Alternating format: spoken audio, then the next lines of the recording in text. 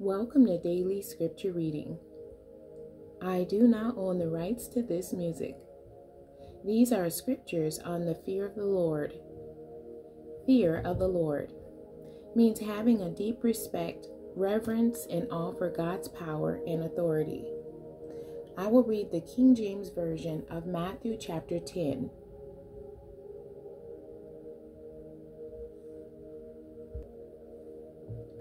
And when he had called unto him his twelve disciples, he gave them power against unclean spirits, to cast them out, and to heal all manner of sickness and all manner of disease.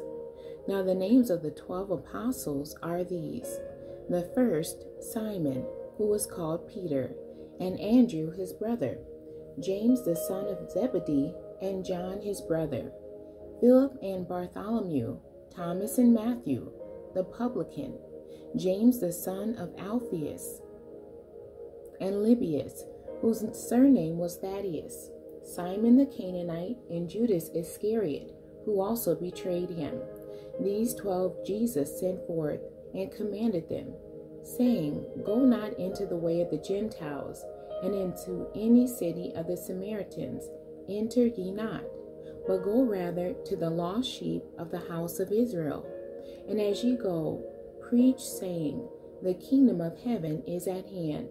Heal the sick, cleanse the lepers, raise the dead, cast out devils. Freely you have received, freely give. Provide neither gold nor silver, nor brass in your purses, nor a scrip for your journey, neither two coats, neither shoes, nor yet staves for the workman is worthy of his meat. And into whatsoever city or town you shall enter, inquire who in it is worthy, and there abide till you go thence. And when you come into a house, salute it.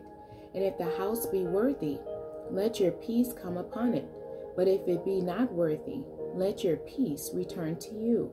And whosoever shall not receive you, nor hear your words, when you depart out of that house or city, shake off the dust of your feet.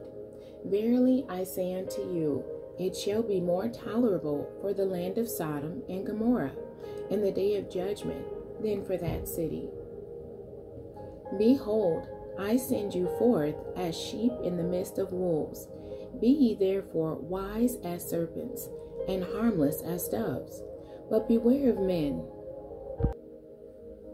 for they will deliver you up to the councils, and they will scourge you in their synagogues, and you shall be brought before governors and kings for my sake, for a testimony against them and the Gentiles.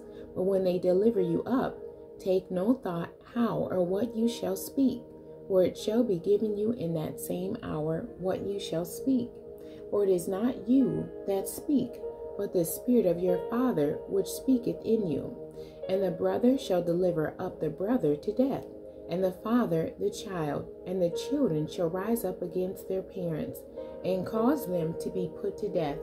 And you shall be hated of all men for my name's sake.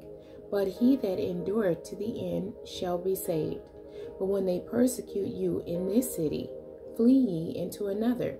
For verily I say unto you, you shall not have gone over the cities of Israel till the Son of Man be come.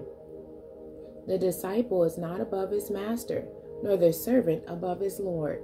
It is enough for the disciple that he be as his master, and the servant as his Lord. If they have called the master of the house Beelzebub, how much more shall they call them of his household? Fear them not, therefore, for there is nothing covered that shall not be revealed, and hid that shall not be known. What I tell you in darkness, that speak ye in light, and what ye hear in the ear, that preach ye upon the housetops. And fear not them which kill the body, but are not able to kill the soul, but rather fear him which is able to destroy both soul and body in hell. Are not two sparrows sold for a farthing, and one of them shall not fall on the ground without your Father? But the very hairs of your head are all numbered. Fear ye not, therefore, ye are of more value than many sparrows. Whosoever, therefore, shall confess me before men, him will I confess also before my Father which is in heaven.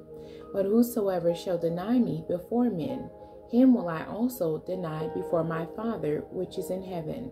Think not that I am come to send peace on earth. I came not to send peace, but a sword. For I am come to set a man at variance against his father, and the daughter against her mother, and the daughter in law against her mother in law. And a man's foes shall be they of his own household.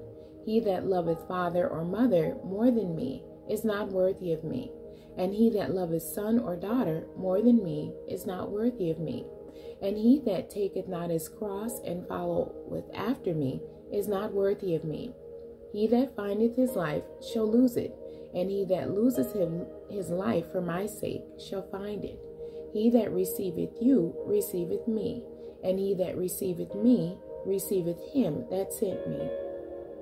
He that receiveth a prophet in the name of a prophet shall receive a prophet's reward, and he that receiveth a righteous man in the name of a righteous man shall receive a righteous man's reward.